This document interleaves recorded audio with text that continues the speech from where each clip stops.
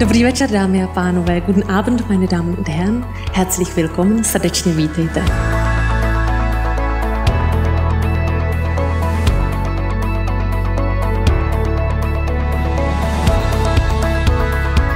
Říká se, že existují dva druhy jara. Meteorologické a astronomické. Ovšem České Budějovice a dalších šest českých měst tak trochu přepisují učebnice. Vypuklo tu totiž jaro kulturní a ještě k tomu česko-německé.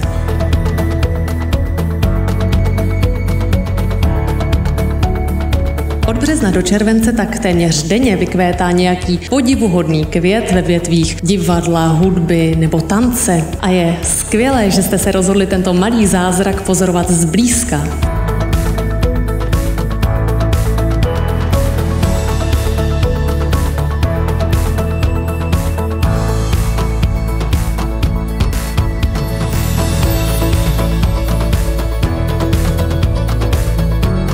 Určitě si nenechte ujít unikátní retrospektivní výstavu německého tvůrce Gerharda Richtera, který je některými kritiky považován za vůbec největšího žijícího umělce.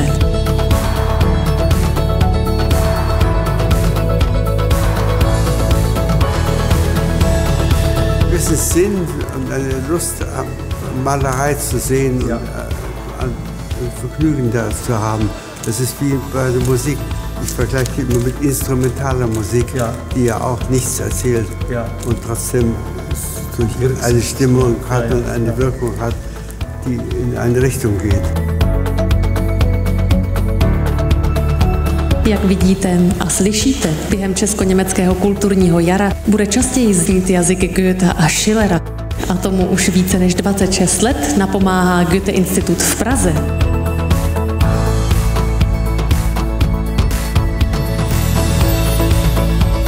Asi bych začal tím, že si připomínáme 20 let od podpisu Česko-německé deklarace.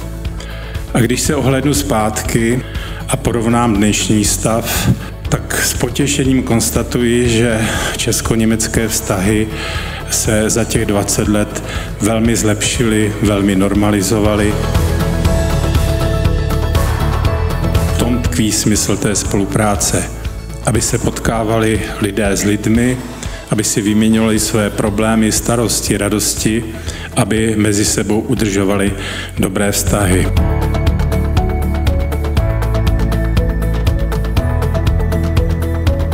My za Goethe Institut jsme strašně vděční za to, že už více než 25 let v České republice můžeme společně s našimi partnery pátrat, občas taky trochu bloudit a často participovat na hodně kreativních dialogů. A proto bych se dneska večer chtěl hlavně poděkovat u těch osob, které svou angažovaností a svou energii a svou inspiraci každodenně vlastně přispívají k tomu, že Česko a Německo znovu vytvoří něco jako onen střed Evropy, který, jak víme, neexistuje, alespoň geograficky, ale možná existuje právě v těch mezilidských a kulturních vztazích. Děkuji moc krát.